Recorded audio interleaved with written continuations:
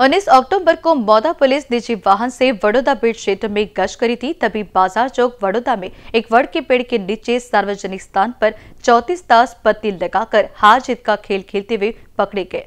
पूछताछ के दरमियान आरोपी अतुल अशोक ठाकरे वडोदा कामठी निवासी, सूरज लक्ष्मण मते वडोदा निवासी, विनोद गुलाबराव सूर्यवंशी, कचरवाही निवासी, करण देवी प्रसाद सिंह भवानी नगर वडोदा निवासी, गणेश बलिराम गवनी वडोदा कामठी निवासी अमोल नारायण राघोते शहीद चौक, वडोदरा काउंटी निवासी है। आरोपी के पास से बावन ताश पत्ते कार्ड और नकद छह हज़ार आठ सौ नब्बे रूपए, चार मोटरसाइकिल, कीमत तीन लाख चालीस हज़ार रूपए, आरोपियों की चार मोबाइल फ़ोन, कीमत बीस हज़ार रूपए। ऐसा कुल मिलाकर तीन लाख सैंसठ हज़ार आठ सौ साठ रूपए बरामद कर जब्ती पंचनामा कार्यवाही अनुसार जब्त किया गया है। उक्त कार्यवाही हर्ष पोदार पुलिस अधीक्षक, नागपुर जिला ग्रामीण नागपुर, रमेश धुमल अतिरिक्त पुलिस अधीक्षक नागपुर जिला ग्रामीण नागपुर, संतोष गायकवाड़, उप विभागीय पुलिस अधिकारी, कामटी प्रभाग, प्रमोद घोंगे, वरिष्ठ पुलिस निरीक्षक, पुलिस थाने मौदा के मार्गदर्शन में सहायक पुलिस निरीक्षक Tejram Vishram police constable Harish Yengalwar, Pradeep Thackeray, Prakash Kathe, police नायक तुषार कुड़ुपले,